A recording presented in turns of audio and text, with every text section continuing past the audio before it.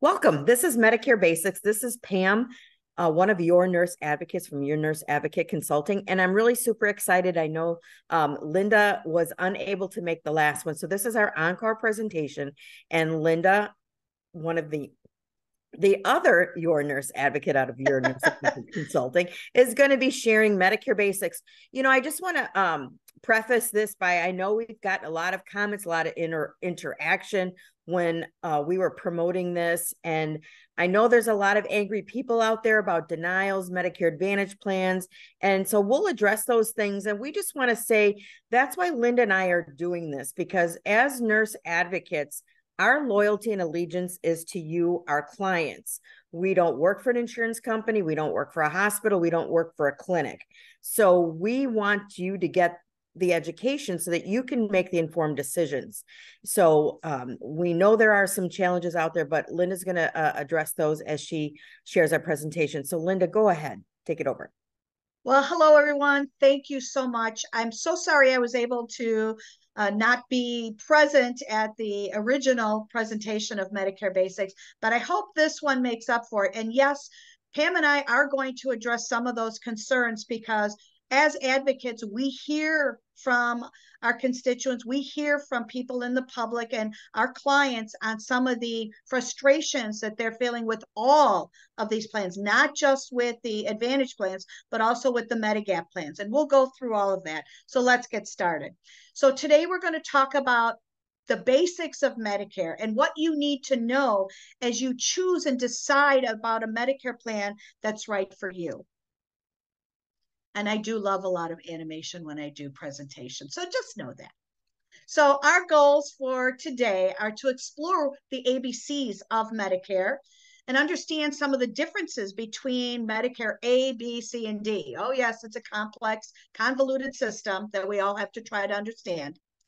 I want to help provide information on the provisions of each plan. So as you do your due diligence around looking at these plans and finding one that's right for you, you have some information and are able to ask some pronounced questions and some really good investigated due diligence in regards to whoever you're working with to to sign up for some of these plans. And then hopefully we'll address some concerns or questions. So what is medicare? Well we all know it's a health insurance for people age 65 and older. But it also is for people under the age of 65 that have certain disabilities, such as ALS. Um, it's also for people with end stage renal disease at any stage of their kidney disease. So Medicare has been around for a long time, but it is still mostly the biggest population that is receiving Medicare right now is the population that is 65 years and older.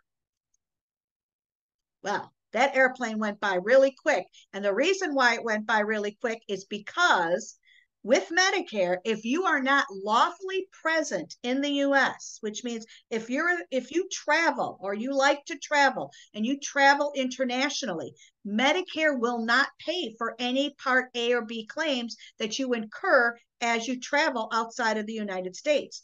If you are living there part time internationally outside of the United States, you cannot join a Medicare Advantage plan. And you're also not able to join any Medicare drug plan. You specifically have to be residents at all times in the US in order to receive those benefits. But we'll get into how you can work around that a little later in the presentation. So, who runs Medicare? Well, the Center for Medicare and Medicaid Services, or called CMS, administers the program, but Social Security or SSA enrolls most individuals into these programs. But the Railroad Retirement Board also enrolls railroad retirees, people that work for the railroad system, the train systems. They have a special program under Medicare for their retirees. So Medicare A actually is considered a hospital insurance. So it really helps cover all the inpatient costs once you are an inpatient in a hospital. It also provides services and payment for rehabilitation in skilled nursing facilities and some long term hospitals or long term care hospitals. It also, believe it or not, covers blood transfusions if you are an inpatient in a hospital. It also covers home health services. Oh, one of the things I want to let you know about blood, it will cover up to three units of blood. So if you have a disease that requires blood transfusions, Medicare will help cover it if you're on the inpatient side of the system or before surgery. It will cover home health services. It will cover hospice care. But under hospice care, what usually happens, at least 99% of the time, original Medicare will be billed for your hospice care, even if you're on a Medicare Advantage plan. What happens is, is under hospice care, if you're on a Medicare Advantage plan, your insurance flips over to Medicare Part A because the Advantage plans really don't have a system in place, a really good, consistent system to cover all the costs that are incurred under hospice care. So, what do you pay for it? Well, under Medicare A, you do pay co-payments, you do have co-insurance, and you do have deductibles. So if you're in a Medicare Advantage plan or have other insurances such as a Medigap plan, which we'll go through, Medicaid, employer insurance, retiree, or some level of union coverage, your co-payments, your co-insurance, and your deductibles may be different. So there's a lot of variables with this. So this is why it's really important to really look at everything in your financial picture or where you are in your life to determine what plan is going to be the best for you and provide you with the best services in the most cost efficient way. So, Medicare A, there's another caveat to this is are you an inpatient or are you an outpatient? If you're an inpatient, the hospital has formally admitted you under a doctor's order or a health provider's order. So you are actually a patient in that hospital and you are admitted. You're an outpatient if you're getting emergency services or getting observation services, which may involve an overnight stay. Sometimes you'll present to the emergency department, and because they're really not sure what's going on, they may say to you, Well, we want to keep you overnight. Well, you need to ask at that time, what does that mean? Am I going to be admitted or I, am I under observation status? Each day you stay, you need to ask. You need to ask your hospital MD, your discharge planner, your the social worker, or a patient advocate if you are an inpatient or an outpatient. And, and Linda, the reason why. Mm-hmm. Can I just add one thing to sure. that? Mm-hmm. Um, I just want to say that that if you have a straight Medicare plan, or, you know, and maybe with a Medigap or a supplement, if you stay in the hospital past two midnights, you have to be changed to inpatient with Medicare.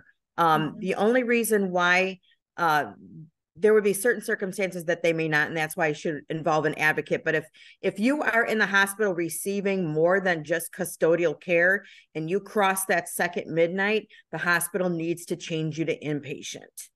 Mm-hmm. very good point um, a lot of times what happens is your md or the healthcare provider will keep you as an out, outpatient for observation services and they can keep you one day two day three days while they decide whether they want to admit you or whether they want to release you. But if you are under an observation status for greater than 24 hours you must receive from them either from utilization review discharge planning, case management, and you need, if you don't receive it, you need to ask for it, a Medicare outpatient observation notice, also called MOON. This notice tells you why you're an outpatient getting observation services and how it affects what you pay in the hospital or after you leave. This is very important if you have a Medicare Advantage plan. And I think sometimes that is where some of the frustration comes in is people aren't aware what they have to pay if they are on a Medicare Advantage plan and they're kept in the hospital under an observation status. And Linda, if I could add just something here, Sure. a lot of the a lot of the Medigap insurances or the supplements or the Medicare Advantage plans, they will have if you're in observation, if you're in that outpatient status while you're in the hospital, is they may have a dollar amount per day that you pay. And then after three, after four, after five days, depending on their policy, then you would have then the coverage would be paid as you know covered under medicare a so it's really important to know if you're in an outpatient or an observation bed what your daily copay is going to be and mm-hmm. the sad thing is is hopefully in january when medicare is coming down a little bit harder on these advantage plans is that um when you have a Medicare Advantage plan, they would like to keep you in an observation. We at the hospital have seen people in observation for five days at a time, and mm-hmm. the uh, the Advantage plans, the insurance companies, not wanting to allow them to be made an inpatient and actually denying claims. So there's a lot of um, discord there, and hopefully. In January, Medicare is um, coming down a little harder on the Advantage plans, saying that they have to follow the Medicare guidelines the Medicare rules, which means if someone is going to be in the hospital crossing those two midnights, they're receiving treatment, then they should be admitted under the inpatient mm-hmm. status. Yeah, just a little FYI. They've always been supposed to be following the Medicare guidelines, but somehow they've been able to do some workarounds and, you know, no discounting the Medicare Advantage plans because there is a purpose for them. There's a reason why they're out there. But I think there has to be some tweaking to the actual program and what they consider following Medicare rules and guidelines. Instead of their own interpretation, they need to follow it just as any other provider, such as your hospital, your home health, and your hospices have to do. They need to be following the same rules that all of us have to follow in those same situations. So let's move on to Medicare B. Medicare B is considered a medical insurance. It's something that you may or may not want to enroll in. A lot of times when you're 65, you automatically enroll into Part A if you have enough hours substantiated over your lifetime of working hours and money paid into the Medicare system. You get Medicare A once you sign up at 65. Medicare B you don't have to. Some individuals choose not to have Medicare B. If you choose to have Medicare B, it is considered a medical insurance. It helps cover doctor and outpatient services, and it covers some preventative services to maintain health and prevent any chronic disease that you may have from possibly getting worse or end, having you end up in the hospital. But you need to understand it only pays 80% of the Medicare approved services. So you are responsible for the other 20%. Medicare B is will come out of your social security check and the dollar amount that comes out there is a base rate which changes every year and then there's an additional amount that gets tacked onto it based on your overall income if you are above the income threshold, you will have to pay an additional amount out of pocket as you receive that, and you will receive a separate bill for that, or they will take it automatically out of your Social Security. So you need to look at those things because even though you're paying for it, it's still only going to cover you at 80%. So you will either have to pay for that out of pocket or have some other type of Medigap or supplemental insurance to cover that other 20%. So, what do I pay for it? Well, if you're in a Medicare Advantage plan or have other insurances, again, like Medigap, Medicaid, employer, retiree, or union coverage, your co-payments, your co-insurance, and all your deductibles are going to be different. So that is why it is really, really important to make sure as you look at these plans, understand what that means to you, especially if you have a working spouse or you are still working or you're not and you are on a pretty tight fixed income. That will all make help the variables will be used to make these decisions in regard to what plan is good for you.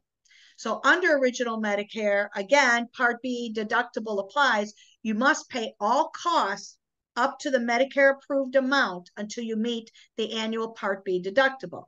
And that this year was $226, the annual Part B deductible. Once that deductible is met, then coverage is at 80%. Medicare pays its share, of course, which is the 80%, but you're still going to be responsible for that other 20% of the approved amount. And there is no yearly limit on what you pay out of pocket if you have original Medicare. So that what what that means is like if you were when you're working and you have commercial insurance, once you hit a deductible, things get covered at 100% or they get covered or totally certain things will get covered and there's no mac. There's a you've met that threshold where with medicare part b there really isn't. You're constantly having to pay that 20% so what isn't covered under part a and part b is most dental care. That's why a lot of individuals will seek out a medicare advantage plan because under a lot of these plans dental care and eye exams which are not covered under Medicare Part A, at least for the prescription glasses, cataracts and cataract surgery are covered under A and B because it's a surgical procedure and it's considered medical. Whereas eye exams for prescription glasses are not. Um, dentures are not covered. Long term care is not covered. Cosmetic surgery is not covered. Massage therapy is not covered. Routine physical exams are not covered and hearing aids and exams for fitting them are not. And that's why these Medicare Advantage plans have taken these components that are not covered under normal original Medicare Part A and Part B and taken them and put them in as extra benefits into these Medicare Advantage plans, which make, which make it very attractive to a lot of individuals in regards to these things that if they kept original Medicare A and Part B, they would have to pay for these services out of pocket or get a special policy to cover these things. There are a lot of Medicare Advantage plans that do cover dentures, eye exams, hearing aids, massage therapy, silver sneakers programs, gym memberships, dietary um, needs, especially if you're having outpatient procedures. They'll provide meals to you at home for seven days. But remember, a lot of that you need to know is is this right for me? Is this right for me for the next 12 months? Because once you sign up, if it's not your original, this plan is yours for 12 months. Linda, before we move on, could you sure. briefly, um, when we were talking about the physical exams, do they get that annual Medicare, um, their their annual Medicare checkup Yes, yes, they do. And actually, your medic if you're on a Medicare Advantage plan, they will actually call you and say, it is time for your medical, your annual Medicare physical exam. And they will either have a nurse come out to the home or they will go and send you to the physician's office because they want to make sure you have that plan. But routine physicals, if you're just going to the doctor because you're not feeling good or you just want another exam, they're not going to keep paying for it. But that annual physical Medicare exam, they will pay for that. And they will also have a nurse. Some of these plans will have a nurse triage system where a nurse will do a telehealth visit with you for that annual plan so they can show that you've done it, received it, so they can make sure that if there are issues that are going on, they can take care of it early so it doesn't cost the plan and or you a lot of money later on. So Medicare C, that is our Medicare Advantage plans. They call it Medicare C, but it truly is the Advantage plans. It's a way to get your Medicare benefits through private insurance companies that are approved and contracted with Medicare. That is why the people that call you during this time with your because you're eligible due to your age or whatever else is going on with you in your lifetime, these are insurance brokers. These are not clinicians. These are not nurses. These are not doctors. These are not PAs. These are insurance brokers trying to sell you a plan. So you need to understand that that the people are calling you are people who are working for these insurance companies who want to sell you the plan and may not know or understand all the components of the plan. They have a scripted message that they are utilizing and they ask the same questions over and over because they need to get basic information to get you signed up to the plan, but it is up to you to ask the more detailed plan eh, questions for the plan and to do your due diligence regarding the plan because they are not clinicians and they don't know your health care. So these Medicare Advantage plans do include Part A and Part B coverage, and usually other benefits, as we talked about on the previous slide, that Medicare usually doesn't cover. Most of these plans will provide prescription drug coverage. And we'll get into how that works in a little bit. So, what do you need to know about these plans? In order to join a Medicare Advantage plan, you have to give the insurance broker your Medicare number. They go into the system to make sure you have both Part A and Part B because what happens with the plan is they use your Part B benefit from your Social Security to help pay for the premium for these plans. But that doesn't mean that you still don't have to pay more for the plan. It will be based on income, volume, and the plan itself. You must live in the service area of the plan. You must be a U.S. citizen or lawfully present in the United States but you can join if you have a pre-existing condition. There is no disclaimer on pre-existing chronic conditions such as diabetes. So what else do you need to know?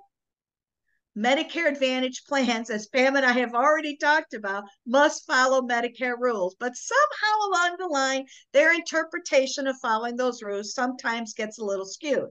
And I'm not saying that they're doing anything, anything illegal or wrong, but a lot of times, remember, these are insurance companies that are selling these plans. So they have their own guidelines and rules that they're following and they are following Medicare rules in regards to the provision of the plans, but sometimes things get lost in the details. So it is up to the consumer, as we say when you buy a car or a home or anything else, you need to do your due diligence to make sure that what you are purchasing is really what you need and is going to provide you with all the things and services that are important to you in a cost effective and efficient way. You can join or drop a Medicare Advantage plan only at certain times of the year, which is during open enrollment, which would take effect January 1st of the following year. Okay? You need to make sure that you are present in the United States.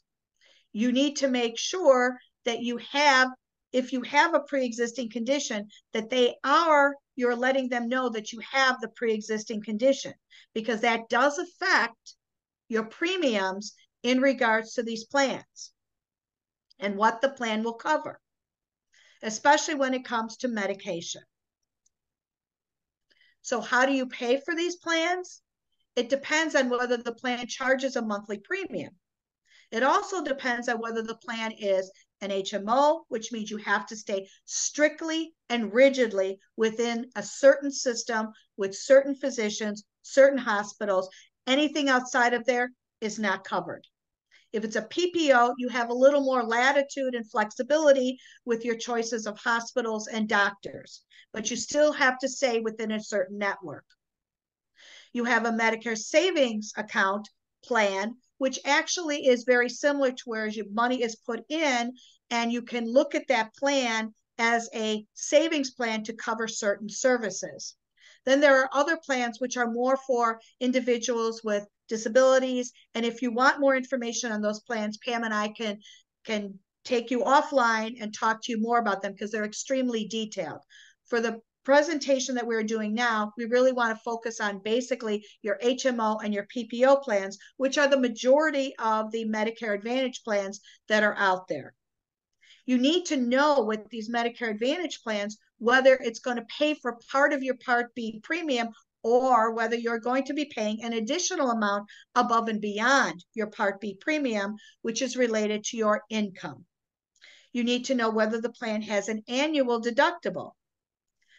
How much are you going to pay for each doctor visit or specialist visit? Because remember, it's looked at as an insurance, as a private insurance. So if you remember back or remember now when you're working, when you go to your doctor's office on your insurance card, it says $20 copay for every doctor visit, $40 for a specialist, $20 for a therapy visit, $600 for an emergency department visit. It's the same thing with these Advantage plans.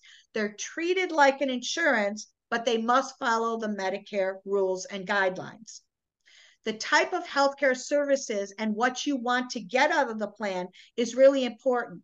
So, my recommendation and Pam's recommendation is as you look at these plans, first look at what do you feel your needs are for this next coming year. What do you have planned? Do you have any major surgeries planned? Do you need a knee replacement or a hip replacement? Are you having some procedures done? Do you think you're going to need a lot of dental work or eye exams? Are you looking at cataract surgery? Are you going to be traveling a lot? Will you be out of the United States for a large portion of this time?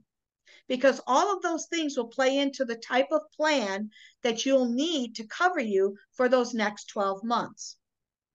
You also need to know whether you can get an outside provider or you need to stay in network because some individuals really are very attached to their primary care provider and they want to stay with them and don't want to change now. They've had that primary care provider for the last 20 years. That provider knows them, they know their history. They don't want to have to start all over again with somebody new. So that's also really important as you pick one of these plans. And you need to understand whether it offers extra benefits. And also if you have Medicaid, because there are dual plans that have Medicare, Medicaid coverage under these advantage plans. So Medicare D. What does Medicare D cover? Well, it covers prescription drug coverage. Yes, we know that. It's run by private companies that are approved by Medicare, which can be either Medicare Advantage plans or separate Medicare prescription drug plans. It helps cover the cost of your prescription drugs, but each plan varies and the cost of drugs vary based on the type of coverage that you need and have and the types of medication that you have. They're put into what we call tier systems. So, how does it work? To add the Medicare drug coverage or the Part D drug coverage to original Medicare, some Medicare cost plans, some Medicare private fee, oh my tongue excuse me some medicare private fee for service plans and medicare saving plan will all have this medicare d benefit uh, medicare advantage plans or other medicare plans have this drug coverage as automatically a part of their plan but not all Medicare Advantage plans will offer drug coverage. You need to be very clear. So, if you are on a lot of medications, you need to run through those medications as you sign up with these plans to make sure that these plan the, these drugs are covered under these tier system plans. Medications fall into what they call tier 1, tier 2, and tier 3.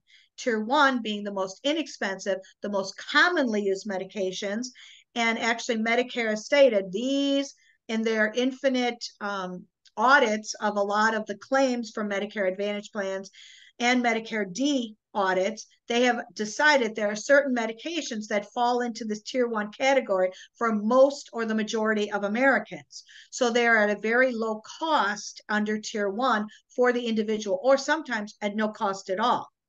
Part B are in are medications that may cost a little more, but are still pretty commonplace for the individual, or may not have a generic, are mostly brand, so they're put into a Part B. Your Part C tiers are your most expensive drugs. These are drugs that are, are specialty drugs or drugs that really do not have, are still under patent and may not have any type of generic substitute and are very expensive to make and to dispense. So you need to make sure you are reviewing these medications to know where your medications fall under these tier systems to know what your cost will be either under a Medicare Advantage plan or a basic original Medicare plan with a Medigap supplement. You must live in the plan area in order to join a Part D Medicare plan. You need to lawfully be present in the United States. You cannot be living in Greece or in Germany and have Medicare D coverage for your medications there. Now, just note that there are some Medicare Advantage plans that will cover you outside of the United States. There is usually an exorbitant or an extra cost for this international type of coverage because the healthcare systems in Europe and in other areas are very different. But they will cover you for certain things, such as an emergency visit or hospitalization with emergency medication management. So there are certain plans, but you need to investigate which plans will provide that level of coverage, especially if you're planning to be outside the United States for three, six, or nine months or longer.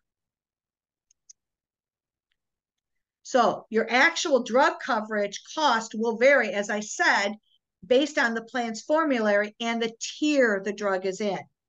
Now, remember, there have been a few changes to this formulary through the current um, political administration, whereas you can no you no longer pay more than $35 for insulin. That is a huge, huge benefit, both under the original Medicare Part D plan and under the Advantage plans, because insulin costs were exorbitant. And if you are diabetic and on insulin, you know exactly what I am talking about. These costs are almost cost prohibitive in a lot of ways for the type of insulin that you may need.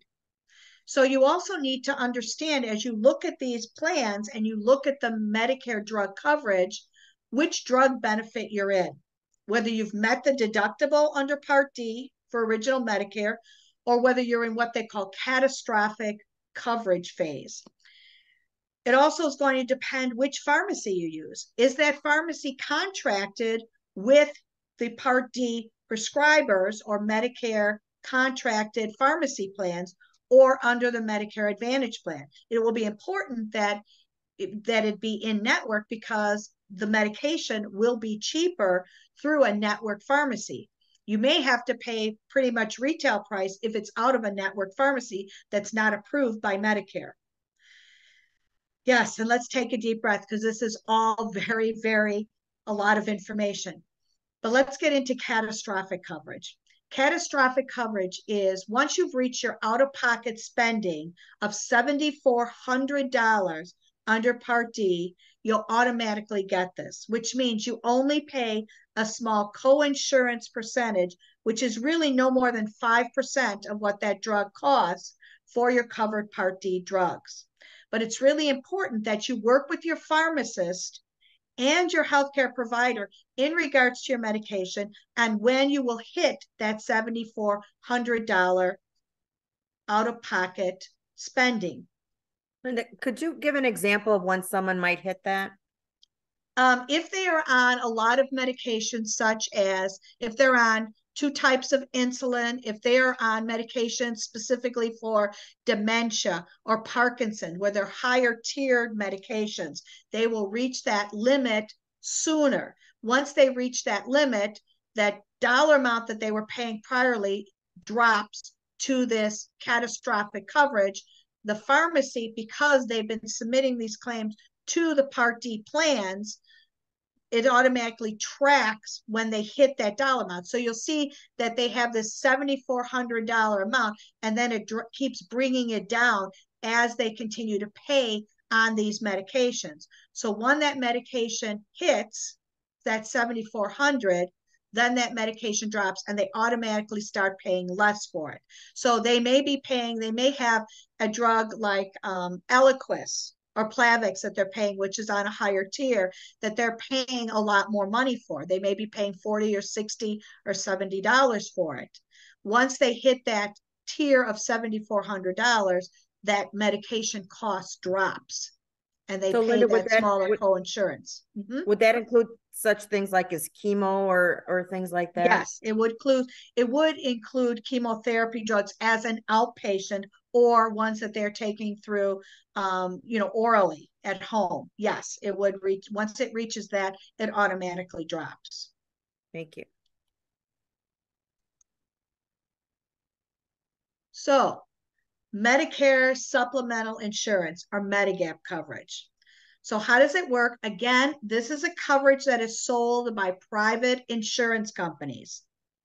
Blue Cross and Blue Shield, Aetna, Humana, all of them have Medigap coverages along with Medicare Advantage plans.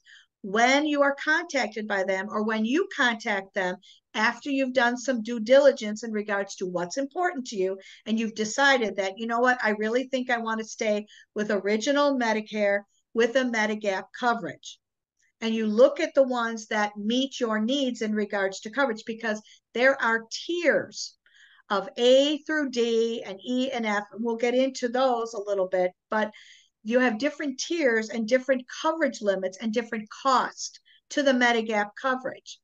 So Medigap coverage, what it does is it's a gap. It covers the gap of cost that Medicare doesn't.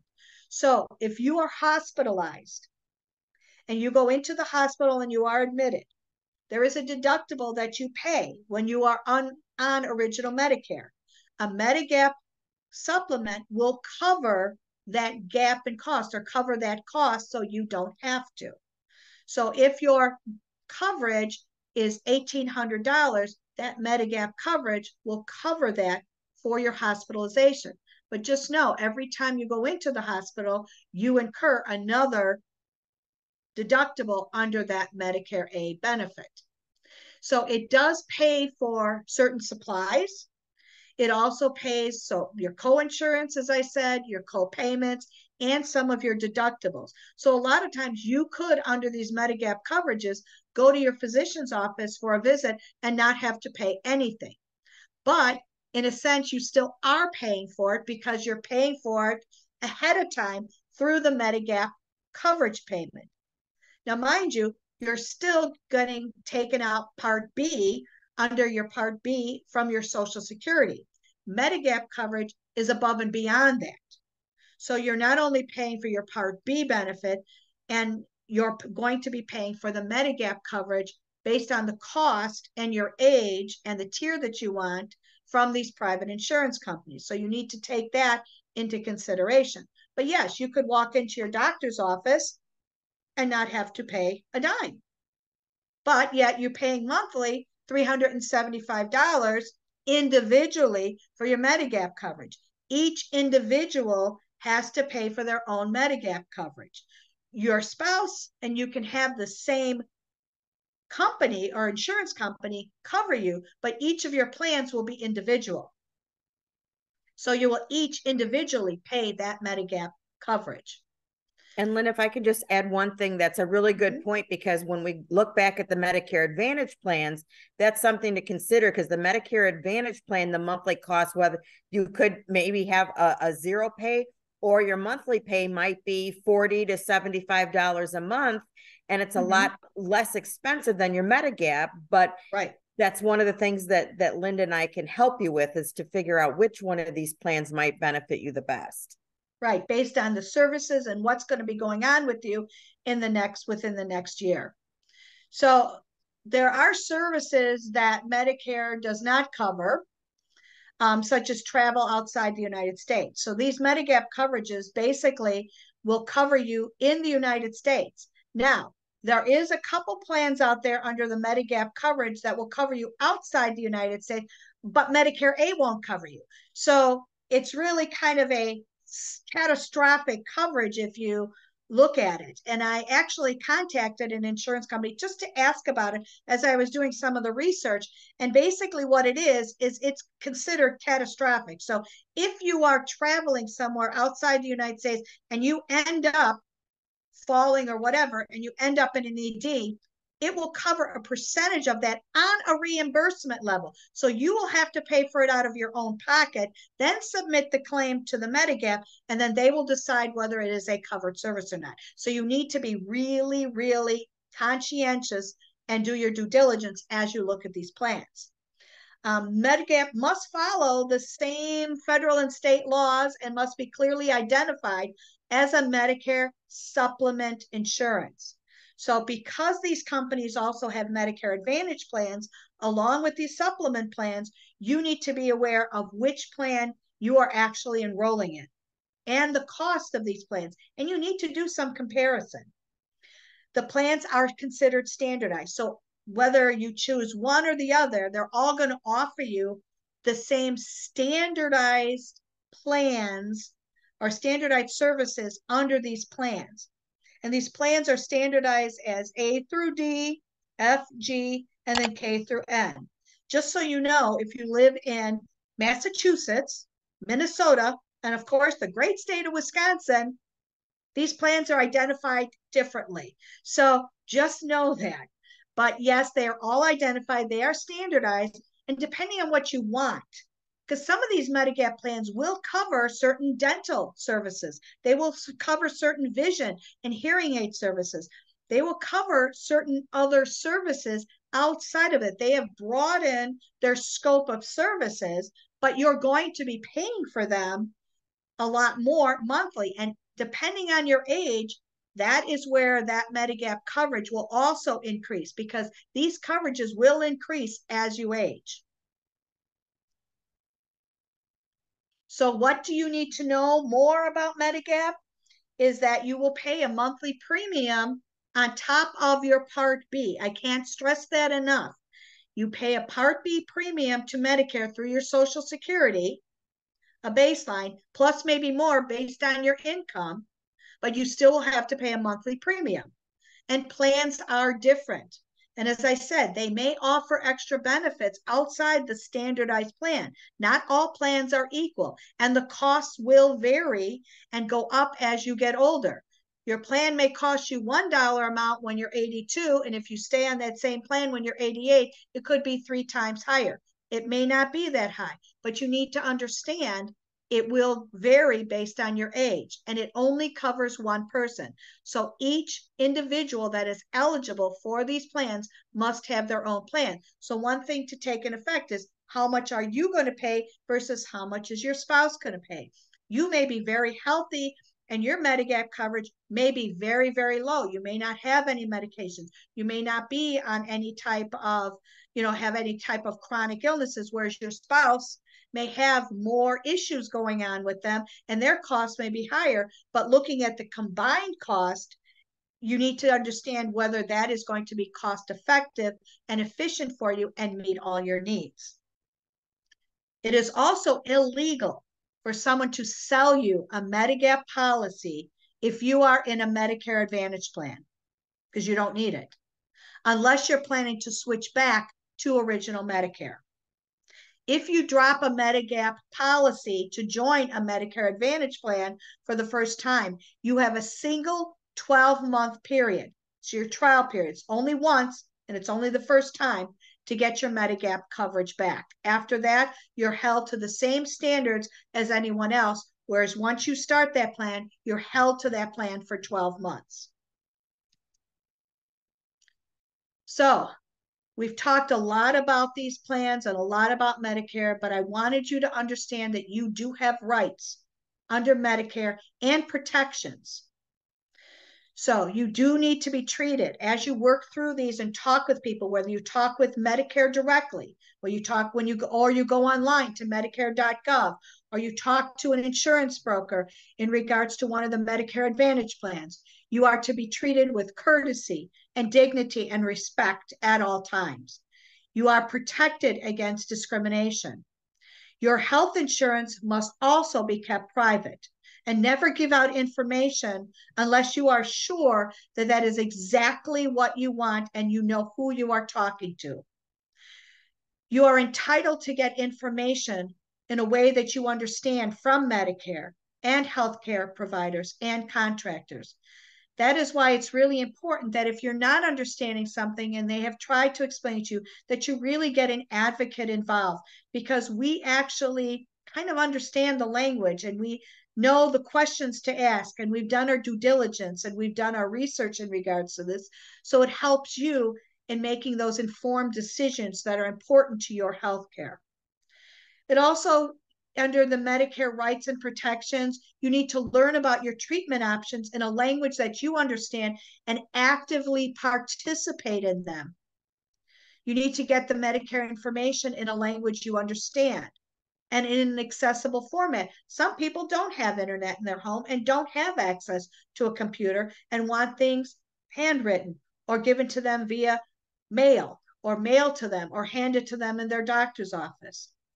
You need to get answers to your Medicare questions, either by calling CMS or going to Medicare.gov, calling Social Security, or utilizing an advocate.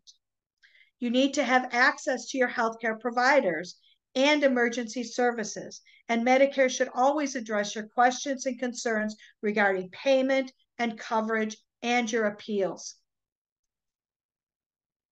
So, if you would like more information in regards to your benefits and the basics of Medicare or understanding specific plans or have questions in regards to plans that you have been investigating, please feel free to contact Pam or myself. We are board certified patient advocates and we can help you. And if we can't help you, we will help you get the resources and go to the right people that can help you. So please feel free to reach out to us at 1 800 330 MyRN or 6976 or on our website at yournurseadvocateconsulting.com. We want to help you make informed decisions regarding your health care. It is confusing, it is complex, and it gets more and more complex every single year. And the information that I've provided is just the tip of the iceberg.